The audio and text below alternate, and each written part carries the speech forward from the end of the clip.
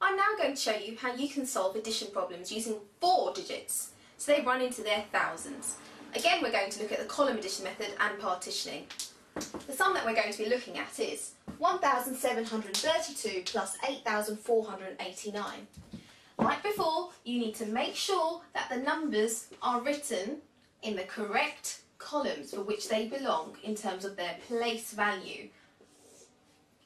There's a units, tens, hundreds, and now we have thousands. So we have 2 plus 9, that's 11. We have a unit and a 10. We keep the unit in the units column and we carry the 10 just below the line. Next we have 30 and 80.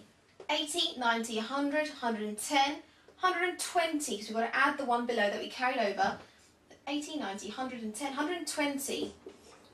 There's a 100, there's a 10, there's a unit. So we keep the 2 there and we carry the 100 over again to sit just below the line.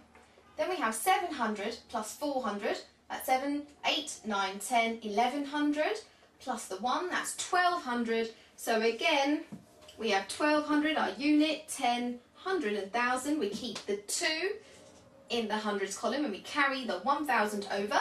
Now we have 800, 8,000, 1000, another 1000, that's 10,000. So altogether, your answer is 10,221.